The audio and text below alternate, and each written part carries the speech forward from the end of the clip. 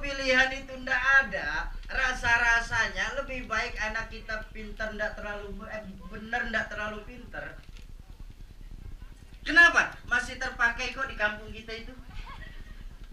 Eh mbak itu si fulana binti fulan itu biar ndak pintar tapi benar itu. Disuruh ngurusin keuangan keuangan perkumpulan dia jujur dan amanah disuruh ngurusin yatim yatimnya pada gemuk-gemuk. Disuruh ngurus janda-janda tua janda-janda tua pada sehat-sehat. Disuruh ngurus janda muda. Kawin lagi kawin lagi. Nggak perlu. Ya bener mbak, nggak perlu. Janda muda banyak dewan penyantunya.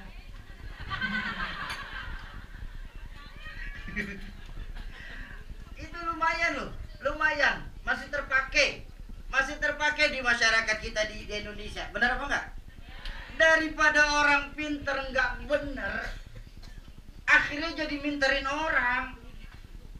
Coba lihat, ini Indonesia kayak begini jujur, jujur maaf sekali maaf. Ini kan Indonesia sekarang carut marut ini pak, mbak.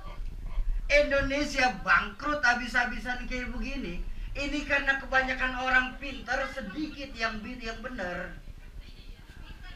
Pintar keblinger, coba lihat. Disuruh ngurusin hutan, malah jadi orang hutan. Bener ini.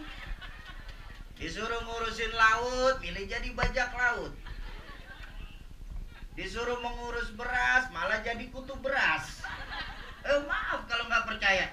Jatah beras raskin yang seharusnya buat saudara-saudara kita yang kurang mampu, sekarang kan dijual. Iya kan? disuruh ngurusin hukum malah membuat hukum seperti pisau.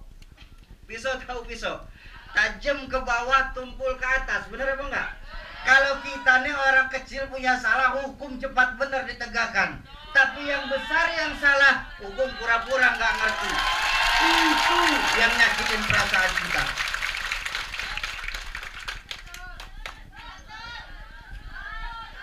Betul